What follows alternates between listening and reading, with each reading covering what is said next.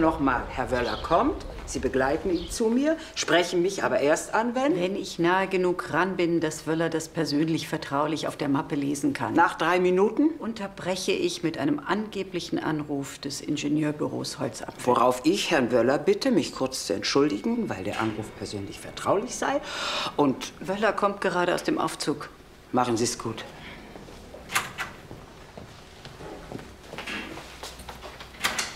Danke. Haben Sie die geschlossenen Veranstaltung? Die Mutter erwartet Sie schon. Gern, gern. Äh, wie ist sie denn drauf? Ich hoffe gut. Nun ja, dazu möchte ich mich lieber nicht äußern. Aber sie erwartet einen dringenden Anruf. Und da sie sich leider verspätet Ja, haben... wo muss- ist das Problem? Gut.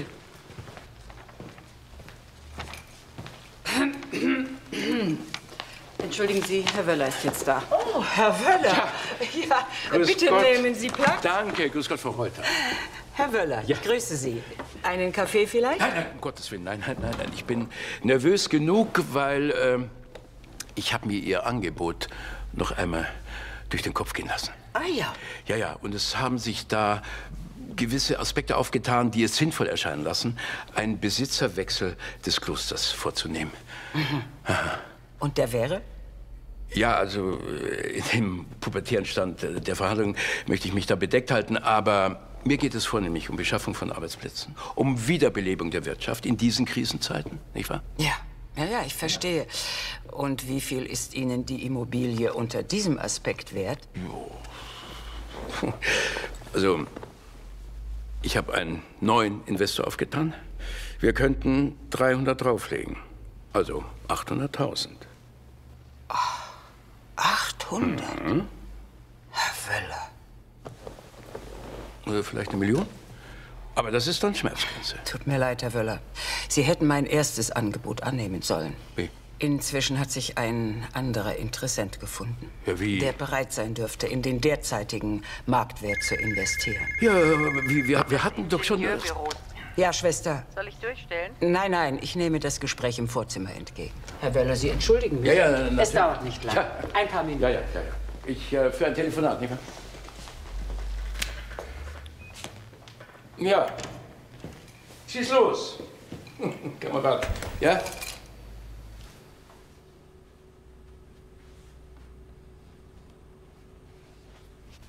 Goldfund im Klosterbach, 500 Meter von... Daher weht der Wind.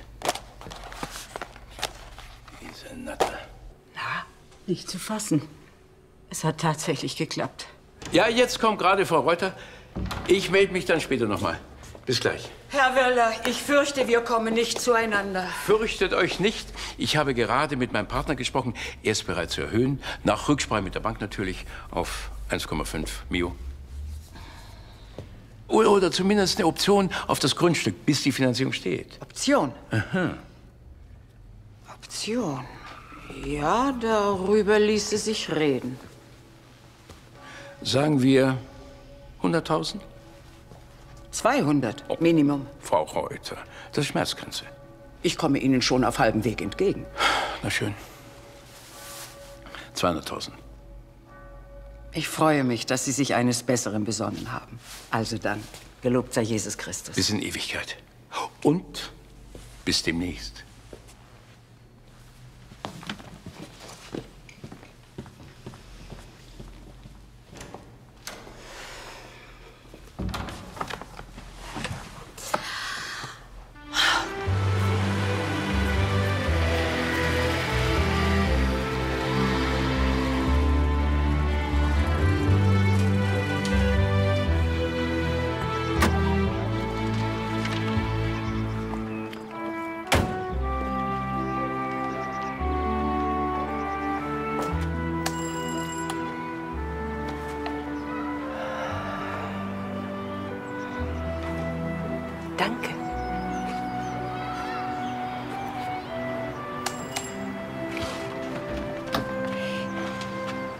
Herr Dörfler ist nicht da, Schwester. Danke, habe ich bemerkt. Ja. Entschuldigung. Ähm, Entschuldigung. ja. äh, eine Frage. Sie sagten, der Herr Dörfler ist nicht da. Ich wollte aber zu Frau Dörfler. ja, wissen Sie denn nicht? Die Frau Dörfler ist gestorben. Was? Freitag muss das gewesen sein. Bei der Entbindung. Oh mein Gott. Tragisch, sage ich Ihnen. Und dabei sind Sie erst vor vier Wochen eingezogen. Und jetzt sitzt der arme Mann allein in dem großen Haus. Mit dem Kinderzimmer, das er selbst tapeziert hat. Letzte Woche. Und jetzt Frau tot und das Kind auch.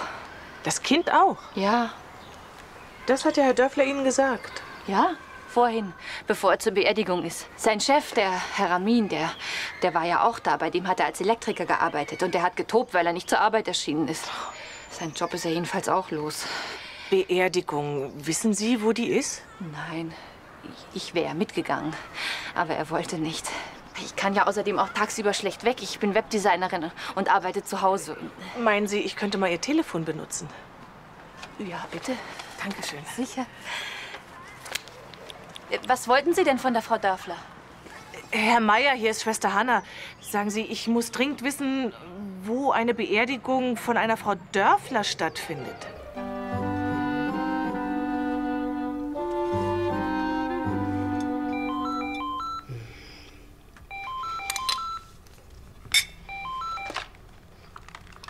Im Rathaus Kaltental labern? Ach, Sie sind's. Hm. Wo sind Sie eigentlich? Der Herr Huber ruft schon alle zehn Minuten hier an und fragt nach Ihnen. Ach, deswegen ist das Handy ständig belegt. Jetzt was ganz anderes. Haben Sie den Schlüssel für das Stadtarchiv, für den Kartenschrank? Nein, wieso? Da besorgen Sie sich einen, ja? Und wenn jemand fragen sollte, warum, dann sagen Sie schlicht und einfach da.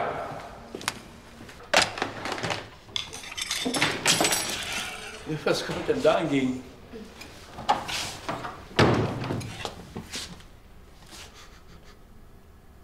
Käsekuchen? Nein, nein, ich. Frau Laban?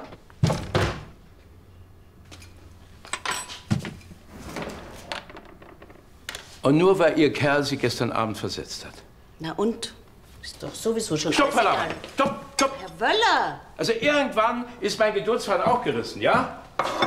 Monatelang muss ich Ihre schlechte Laune ertragen und zusehen, wie Sie kiloweise sozusagen vor meinen eigenen Augen verschwinden. Und jetzt, wo Sie Ihre Traumfigur erreicht haben, sehen Sie, jetzt lachen Sie schon wieder. Ja? Da wollen Sie einfach hinschmeißen? Laban, sind doch erwachsen. Andere Mütter haben doch auch Söhne. Ja? Also, rufen Sie den Huber an. Er soll in Ochsen kommen in einer halben Stunde. Er soll sein Scheckheft nicht vergessen.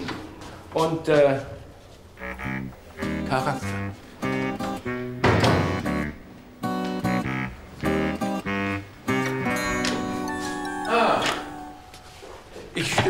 Nein, nein, nein, nein, gar nicht. Ich werde Sie auch gar nicht lange aufhalten. Wie ich sehe, sind Sie ja überlastet mit Arbeit. Naja, ich hatte Sushi zum Lunch äh, mit Seealgensalat. Das Grünzeug, das, das, das bleibt immer so in den Zähnen. Bitte. Nehmen Sie Platz, Herr Treptow. Danke.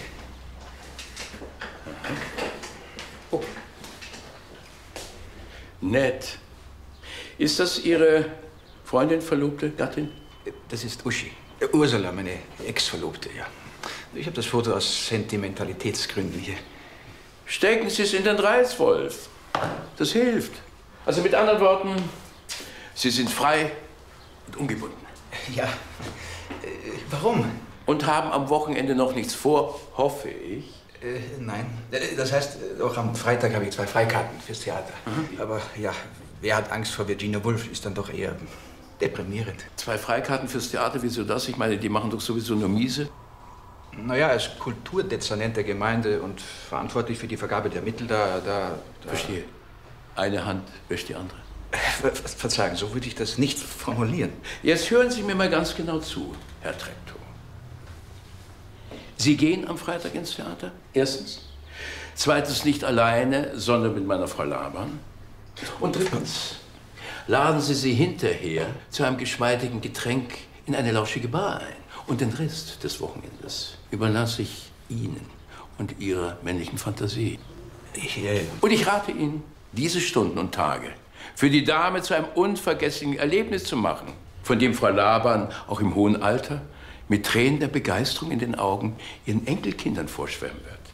Bei widrigen Fall sehe ich mich gezwungen, sie wegen privater Körperpfleger während der Dienstzeit, Begünstigung im Amt, Bestechlichkeit vom Personalausschuss überprüfen zu lassen. Ja, und das ist ja eine ganz unangenehme Abteilung, wie Sie wissen. Die IE steht für die interne Ermittlung.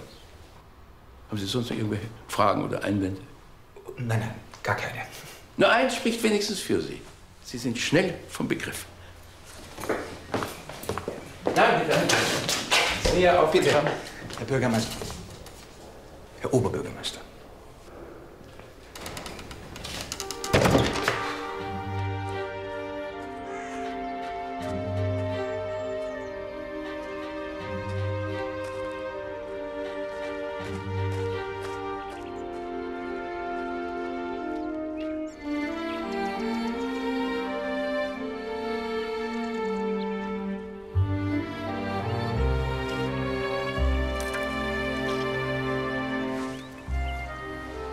Lassen Sie mich das machen, bitte. Bitte.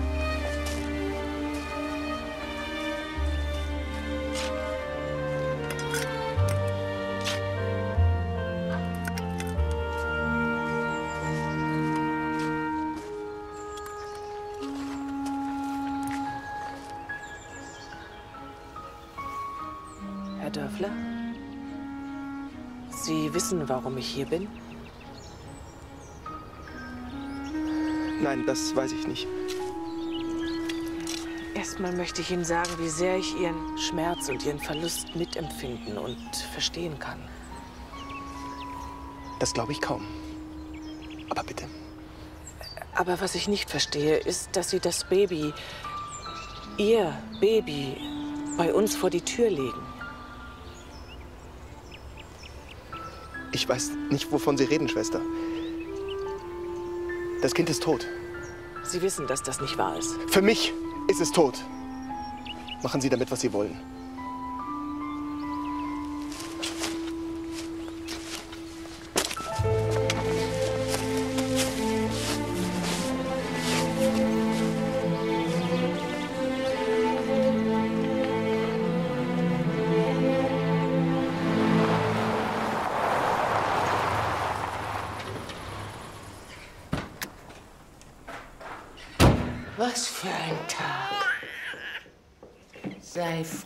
Dass du noch so klein bist und von all dem nichts mitkriegst, nicht wahr, Herr Hundsitz? Und du machst jetzt ein kleines Nickerchen. Ich glaube, ich habe den Vater gefunden. Ich erkläre dir alles später. Komm, wir gehen zum Papa. Und wartet nicht mit dem Essen auf mich. Aber Hannah!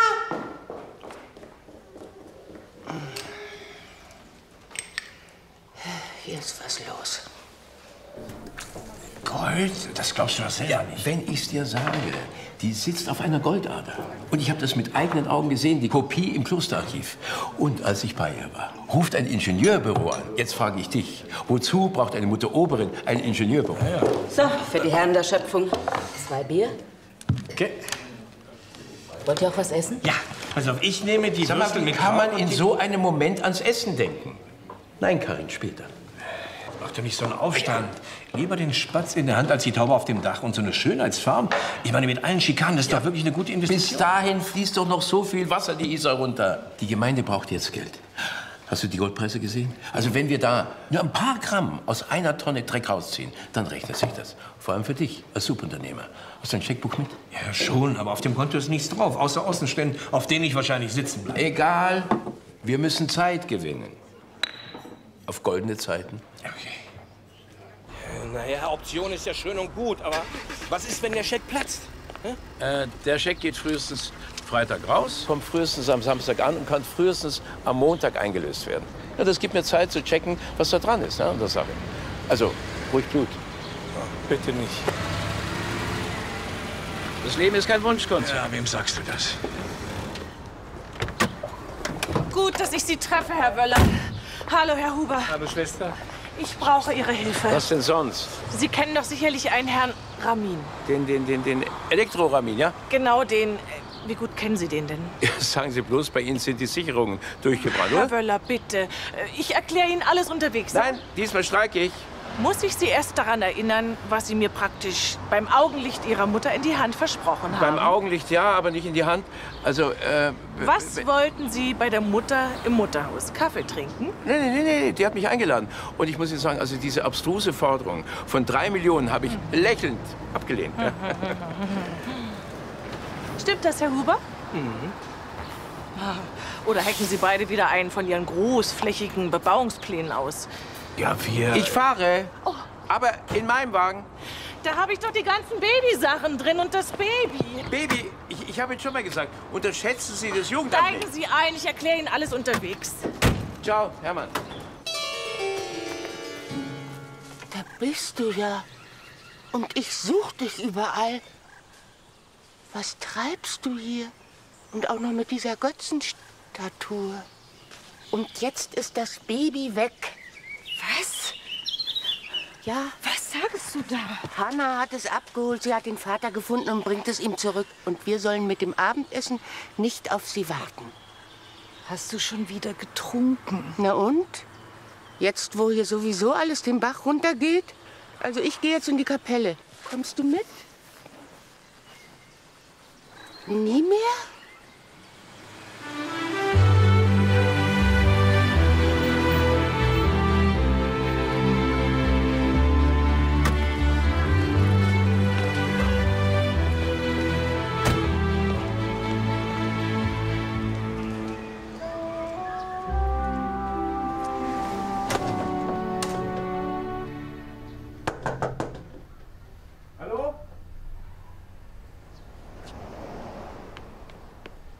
Was habe ich gesagt? Keine mehr da. Ja, gut, dann eben Plan B. Ja, Moment, Moment. Also wenn dieser Plan B genauso bescheuert ist wie dieser Plan A, dann steige ich lieber wieder aus. Verstehen Sie nicht, der Mann ist verzweifelt. Ohne Frau, ohne Job. Ich muss dem eine vernünftige Alternative bieten. Ja, aber ich brauche keinen Elektriker in meinem Betrieb. Ja? Moment, Moment, wo fahren Sie hin?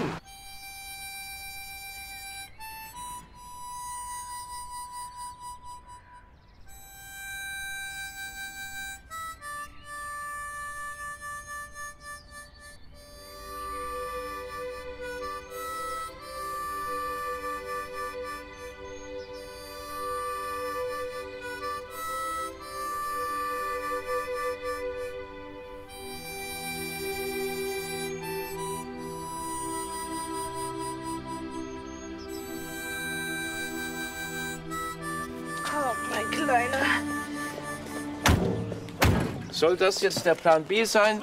Ja, das Baby vor die Tür legen, obwohl es der Vater gerade loswerden wollte. Mein Gott, das war doch eine Kurzschlussreaktion. Der weiß doch gar nicht, wie das ist, so ein kleines Wesen auf dem Arm zu haben. Also da muss ich Sie enttäuschen, ja? Männer sind da anders. Als man mir meinen Sohn in den Arm gelegt hat, dachte ich, oh Gott, das sieht ja aus wie meine Schwiegermutter. Das sieht Ihnen ähnlich.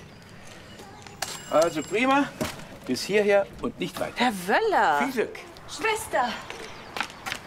Haben Sie den Herrn Dörfler auf dem Friedhof erwischt? Ja. Sein Baby? Mhm. Er hat es uns im Kloster vor die Tür gelegt. Oh mein Gott. Der arme Mann. Der arme Mann. Aber ohne das Kind ist er noch ärmer dran. Sind Sie vom Jugendamt? Sieh ich so aus? Nein. Ein Vorschlag zur Güte. Wir gehen jetzt und kommen morgen wieder. Haben Sie vielleicht einen Schlüssel zu der Wohnung? Nein. Wieso? Beste Schwester, äh, Sie können doch nicht einfach in eine wildfremde Wohnung reingehen. Das heißt, warten Sie. Vielleicht doch. Äh, Sie machen sich strafbar. Meine, Sie kennen nur die zehn Gebote. Tatsächlich. Die Frau Dörfler musste zum Ultraschall und hatte Angst, dass sie die Lieferung von der Waschmaschine verpasst. Sehr gut. Aber was haben Sie denn vor? Ja, vielleicht Plan E oder sind wir schon bei D oder F oder X? Nehmen Sie ihn mal. Hallo. Ich bin die Miriam. Und wer bist du? Er hat noch keinen Namen. Ein Junge. Äh, wissen Sie, wo das Kinderzimmer ist? Schwester, ich verdünnisiere mich, ich sitze im Auto. Herr Wöller! Feigling! Kommen Sie.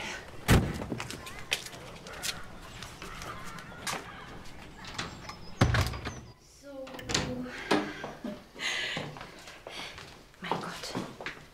Er sieht aus wie seine Mutter. Wirklich? Ja. Die Augen. Und so um den Mund rum. Kennen Sie seine Mutter gut? Naja, wie man sich halt so kennt, wenn man Wand an Wand wohnt. Gell, Spatz? Mit ihm, also mit Herrn Dörfler, konnte ich irgendwie besser. Ich habe ihm geholfen beim Design für seine Renovierung. Schwester? Hier oben! So, jetzt haben Sie einen Salat. Ich glaube, der Hausherr kommt, der läutet bei Ihnen, ja? Schwarzer Anzug wie von der Beerdigung. Haben Sie die Tür unten zugemacht? Ja, sowieso. Verstecken, hinter der Tür. Aha, Plan Y, bitte. Was machen Sie mit dem Baby? Ja, komm, komm, komm.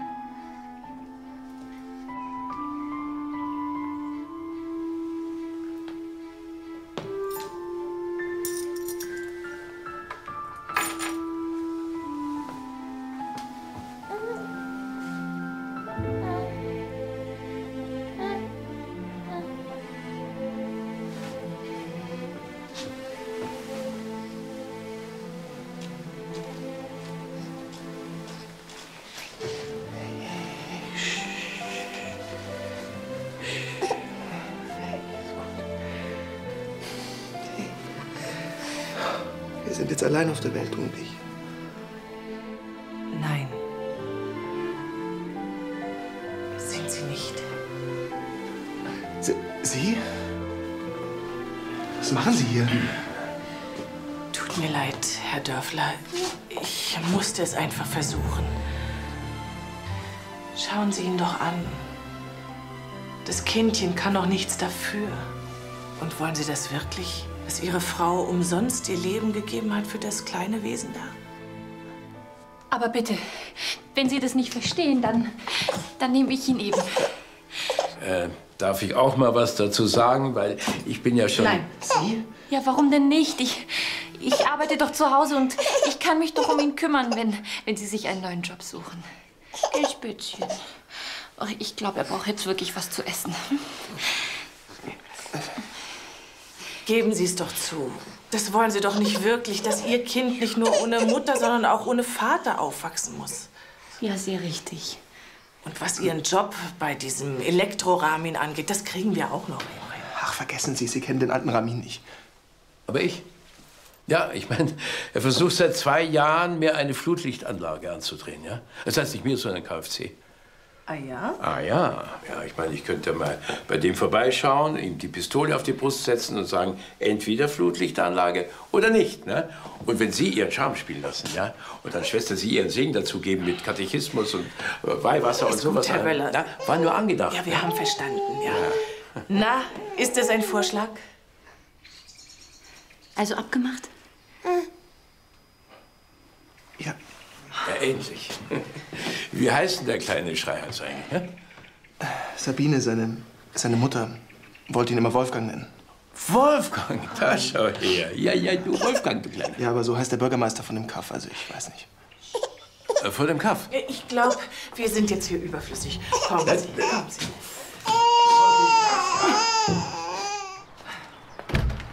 Bürgermeister von dem Kaff.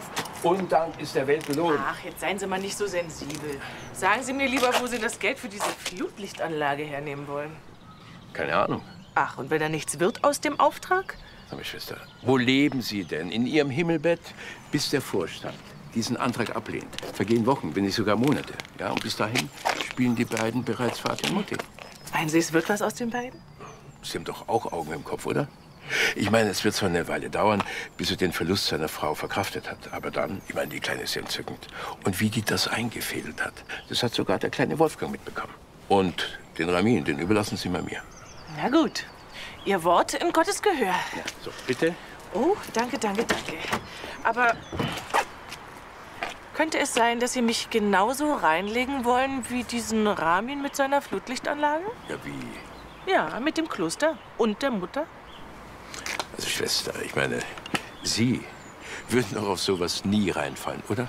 Nein, Groß Wolfgang. Bestimmt nicht.